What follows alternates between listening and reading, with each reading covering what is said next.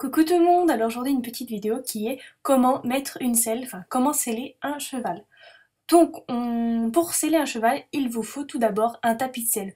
Le tapis de selle a vraiment pour but de protéger la selle de la transpiration du cheval car la transpiration du cheval euh, ronge le cuir de la selle et voilà, donc le tapis a vraiment pour but de protéger la selle de la transpiration du cheval et en deuxièmement permet euh, que ce soit plus confortable au cheval aussi que d'avoir une selle euh, comme ça nue. Ensuite, il vous faut bien entendu une selle, donc euh, bah, la selle que votre cheval euh, a tout simplement. Donc voilà, normalement vous avez besoin que de ces deux choses-là. Mais certains chevaux ont besoin d'un amortisseur. Alors l'amortisseur permet euh, d'amortir les, chocs que vous pouvez créer sur le dos du cheval. C'est essentiellement pour les chevaux qui sont sensibles du dos. Donc on leur met un amortisseur pour amortir les chocs.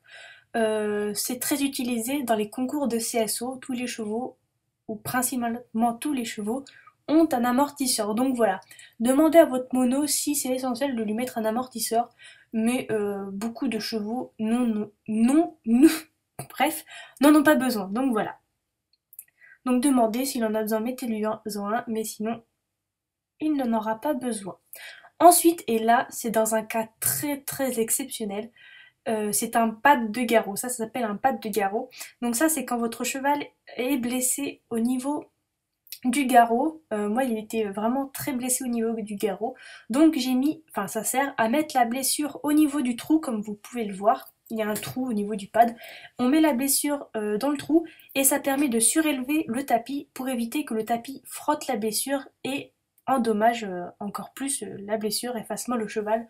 Donc voilà, un pad de garrot c'est vraiment essentiel quand le cheval est blessé et qu'il n'y a pas euh, de solution. Donc voilà, donc on met un pad de garrot. Donc voilà, donc ça c'est vraiment euh, dans un cas très très exceptionnel, de toute façon votre mono vous le dira. Donc voilà, là je vais vous présenter comment mettre un pad. Alors il faut mettre la blessure dans le trou, donc le trou qu'on voit, donc là je suis en train de le faire. Mais comme une cruche, je me suis rendu compte que j'avais mis le pad à l'envers. Voilà. What the fuck? c'est à l'envers.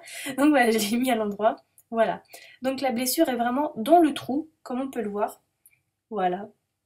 Et, euh, et voilà, tout simplement. Donc ça se met, voilà, vraiment sur... Euh, la blessure doit être au milieu. Ensuite, il vous faudra bah, votre tapis. Donc vous prenez votre tapis. Euh, voilà, moi je le secoue un petit peu. Et vous le positionnez sur le dos de votre cheval. Attention à le mettre à l'endroit, ce serait bête de le mettre à l'envers. Voilà, donc euh, il faut recouvrir le garrot, juste recouvrir le garrot et qu'il soit ni trop en arrière ni trop en avant. Juste comme ça, là c'est juste, juste pile poil.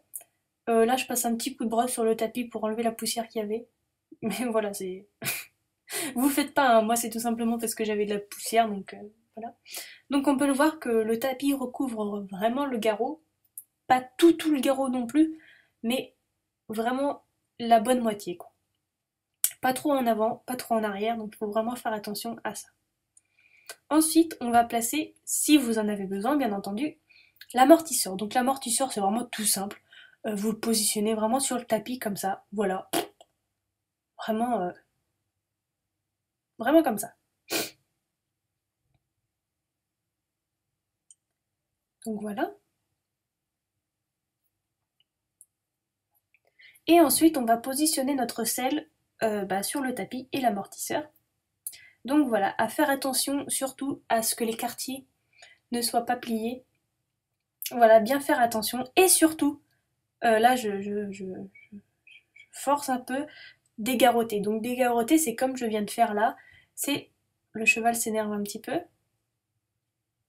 C'est de prendre l'extrémité du tapis au niveau du devant et de soulever. Ça permet qu'il y ait un trou euh, voilà, au niveau du, garrot, donc de bien soulever. Alors moi, comme vous pouvez le voir, j'ai trop, euh, trop soulevé le tapis et l'amortisseur. Et du coup, l'amortisseur s'est déplacé, donc là, il est trop en avant. J'ai remarqué ça et là, je suis en train d'essayer de le remettre. Mais à la fin, je me suis dit que c'était pas si grave que ça. De toute façon, il était bien mis. Il était super bien dégarroté. Enfin, sans me vanter, mais voilà. Il était bien dégarroté. Donc voilà, surtout faire attention à bien dégarroter. Et ensuite, on va de l'autre côté, bah, comme je viens de faire là, pour descendre la sangle, et non jeter la sangle comme certains font. ça c'est vraiment à éviter parce que si le cheval se prend la sangle dans les membres, il risquerait d'être très surpris et d'avoir une réaction un peu violente. Donc voilà. Et là, alors attention, gros challenge, euh, ça s'appelle le stanglage. Pour ceux qui connaissent pas, euh, qui ne l'ont jamais fait, je vous encourage vraiment. Euh, pour ceux qui connaissent le sanglage, bah voilà, ils connaissent la douleur que c'est. Alors les chevaux au niveau du sanglage, voilà, là c'est vraiment un truc à éviter, c'est parce que j'ai lâché la sangle parce qu'il avait gonflé son ventre à mort. Mais vraiment la chose à éviter, c'est de lâcher la sangle comme j'ai fait. Mais les chevaux au niveau du sanglage, quand c'est l'heure du sanglage en fait si vous voulez, ils gonflent à mort leur ventre pour éviter que vous serrez trop. Voilà, comme je vous... je, serre, je tire la langue. Et donc euh, voilà, euh, c'est inutile de serrer trop fort, il faut juste euh, voilà, fermer au premier trou qui vient et voilà, mettre les passants, enfin les, le passant de sangle. Et voilà, tout est bien comme ça. Donc on regarde bien si tout est bien. Et voilà, donc j'espère que cette vidéo vous aura plu. Le cheval s'énerve encore. j'espère que cette vidéo vous aura plu, euh, qu'elle vous sera utile et on se retrouve très très très prochainement pour une prochaine vidéo. Bisous à tous